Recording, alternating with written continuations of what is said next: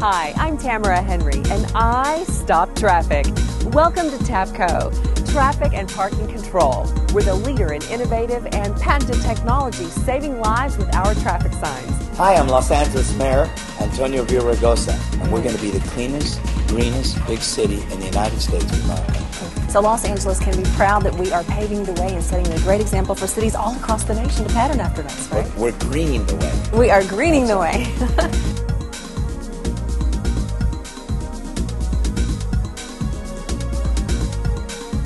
are seeing a first here in Southern California. We are in Santa Monica at 4th and Olympic, and the city of Santa Monica is installing the first municipal solar powered stop sign. Yes, you are watching it go in as we speak. We are very proud of TAPCO and CEO Rick Berkholz, who is saving lives with our traffic signs.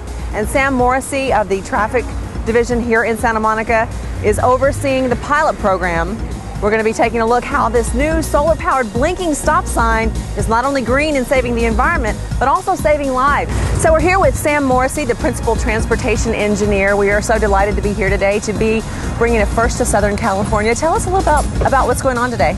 Uh, so we're going to install this flashing stop sign, and we're really excited about it. Um, we've got a lot of issues at this intersection with people not adhering to the stop sign, not observing the stop sign. This is a heavy pedestrian crossing location. We've got the police station, city hall, one of our largest parking structures here. There's a constant flow of pedestrians.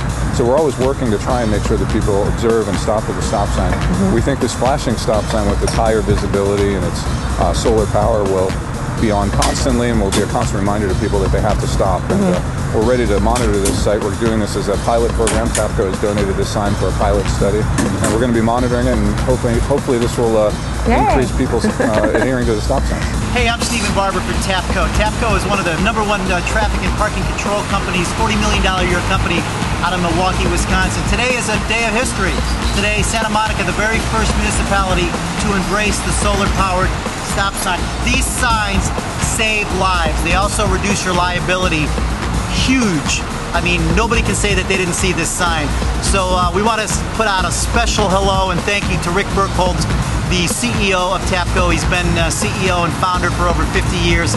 He has saved tens of thousands of lives with his traffic signs, and we're very excited that the state of California has finally decided to embrace the first solar-powered stop sign here on the corner of 4th and Olympic. Uh, we hope this is the beginning. In fact, we know that this is the beginning of some great things that you will be seeing thousands of these signs in the next few years popping up.